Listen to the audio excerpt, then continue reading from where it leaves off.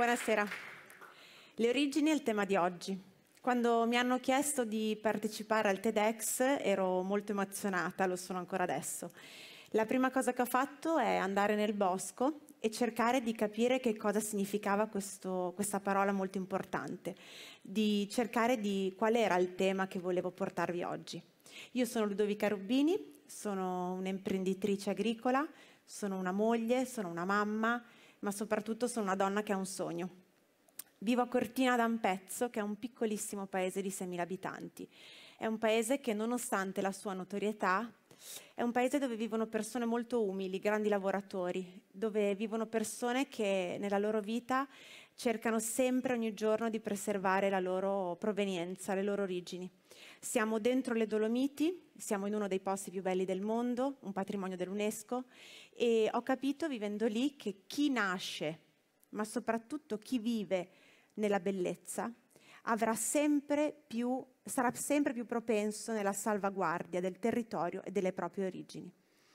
Quando sono andata a vivere a Cortina ero molto giovane e mm, all'inizio mi sono sentita subito spaesata, non mi sentivo a mio agio e eh, ho cercato di prendere il buono dalle cose che facevo. Andavo spesso nel bosco e camminavo e nel bosco ho capito che quello che pensavo fosse una situazione di disagio in realtà era una forza che mi stava nascendo dentro, perché questo bosco mi ha lasciato questa forza. Ero lì, in quel punto, davanti alle montagne, avevo un ruscello a fianco e c'era quel profumo d'aria, quel profumo che si sente quando c'è stata una tempesta, quando tagliano degli alberi e c'è quell'odore di resina. Per me in montagna profuma anche l'acqua. I quattro elementi io oggi vi vorrei portare in un percorso fatto di quattro elementi. Quattro elementi perché i quattro elementi sono alle origini di ognuno di noi e io li vivo un pochino come se fossero delle mie tappe nella vita. Vi voglio parlare quello che, di quello che per me è origine e vorrei farlo facendovi fare questo sentiero. Terra, acqua, aria e fuoco. Sono questi gli elementi e sono convinta che uno dei modi per tornare alle nostre origini è riconnettersi con questi elementi. Iniziamo terra.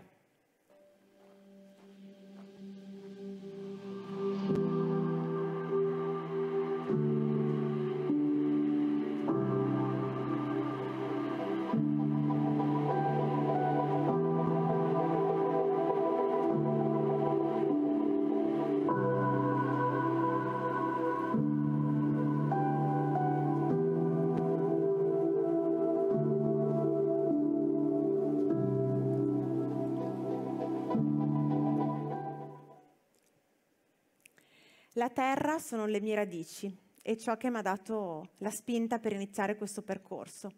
Lo chiamo percorso perché secondo me la vita è un percorso fatto di momenti in cui inciampiamo, cadiamo, giriamo un angolo scuro, attraversiamo una tempesta, una zona fosa dove ci manca l'aria. Però è anche la te- la, il percorso che noi ci costruiamo e che ci costruiscono le persone che ci stanno attorno. La terra è da dove sono partita. La terra sono le mie radici perché ognuno di noi anche se non vuole, ha delle radici che ci tengono legati alle nostre origini. Ma queste radici ci devono dare anche la spinta per andare avanti, per essere consapevoli che dobbiamo seguire ogni giorno il nostro obiettivo. Cortina non è la mia città d'origine, io sono bolognese e sono andata a vivere a Cortina a 22 anni. E questa mia avventura l'ho iniziata con un cuore grande ma piedi molto infantili. Oggi dopo 15 anni, mi rendo conto di affrontare la mia vita con un cuore da bambina ma piedi molto forti. Le mie origini, il mio carattere ottimista, allegro, estroverso, curioso, mi ha aiutato moltissimo nella mia vita, nella mia, aiutato, nella mia vita professionale e nella mia vita quotidiana. La terra è dove ti senti a casa, ma la terra e l'ambiente che ti ospita è ciò che ti legherà per sempre. La mia casa è una casa con meno macchine e più cime. È una casa con meno suoni e più silenzi. È una casa con meno asfalto e più terra. La terra è la genesi delle origini. Acqua,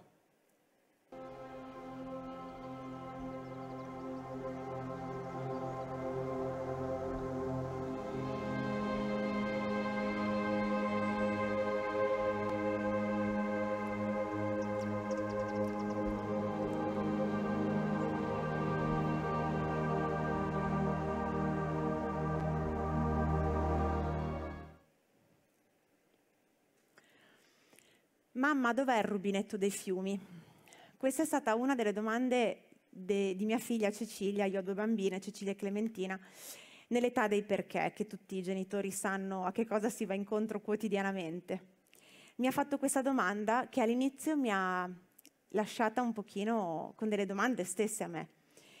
Poi ho cercato di, di pensare a che cosa poterle rispondere e mi sono chiesta dove nasce l'acqua? Finirà mai?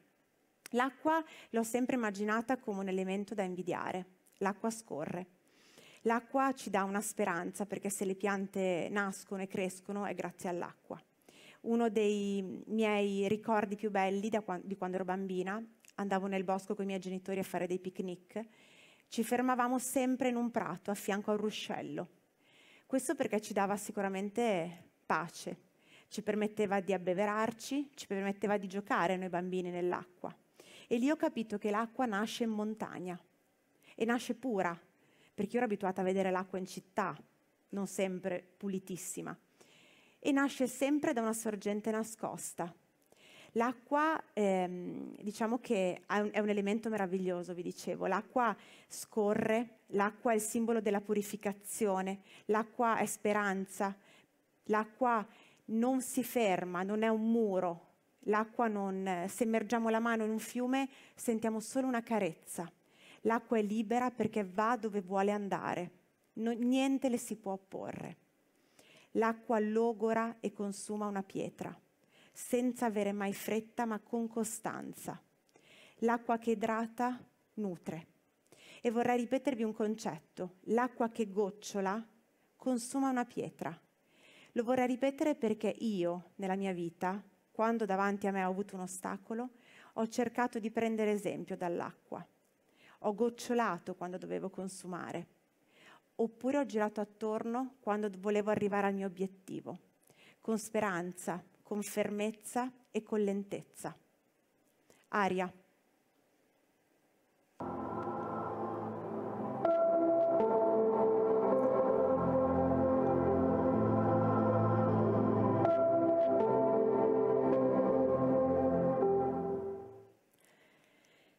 Ed ora vi chiedo di chiudere un attimo gli occhi e di fare un respiro. Immaginatevi il silenzio della montagna, la sua maestosità. Immaginatevi il vuoto sotto i piedi, il freddo di una roccia, il respiro affannato. Immaginatevi di essere in cima a una montagna vicino all'aria, pieni di aria.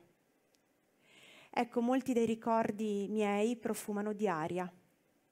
Io e Riccardo, mio marito, mi ha portato a fare una ferrata un giorno, molto difficile. Eravamo in cima a una montagna, io e lui. Lì lui ha capito che ero la donna per lui. Io l'avevo già capito, in parte. In quel momento profumavamo d'aria, quell'aria che ancora oggi quando sento mi riporta esattamente in quel momento, in quel posto, perché l'aria fa questo. L'aria trasporta ogni cosa, pulisce il cielo, ci dà respiro. L'aria è l'origine. L'aria è l'elemento che decide della nostra sopravvivenza. È potente e pauroso, ma è anche potente e delicato. L'aria è ogni, dovunque, mia figlia Clementina che ama sciare, profuma d'aria quando torna a casa. L'aria ci chiede di non esagerare. Quando abbiamo un momento di ansia, basta chiudere gli occhi e respirare e questo ci riporta esattamente in sintonia col nostro corpo e col nostro mondo. Io mi sento come l'aria, questo è l'elemento che più mi avvicina. Esisto, mi sento, ma non vedo ciò che ho fatto, ma cerco di guardare ciò che farò. E ora vi chiedo di fare l'ultimo respiro chiudendo gli occhi. Ogni nostro respiro deve essere una promessa da mantenere con la natura, il soffio di vita delle origini. Acqua, fuoco, aria, ora siamo a fuoco, grazie.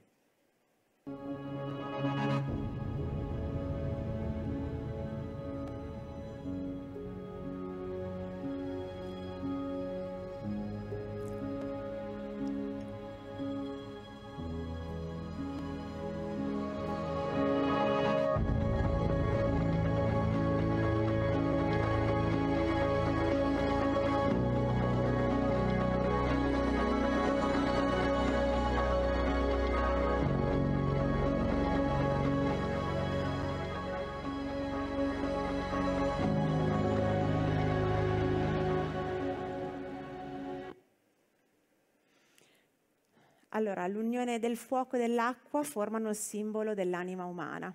Il fuoco è l'origine, con la O maiuscola, è la forza profonda ed è il motore della rigenerazione. Il fuoco è convivialità, è famiglia, il fuoco è estate e inverno. Il mio ricordo più bello è un ricordo molto recente.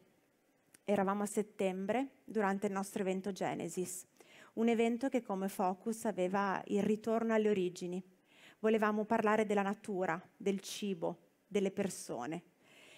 L'ultima sera abbiamo allestito un campo di tende in mezzo alla natura, in una conca di larici. Volevamo cucinare solo con il fuoco. Abbiamo fatto lo zabaione. Abbiamo messo due ore a fare quello zabaione, ma è stato lo zabaione più buono della mia vita.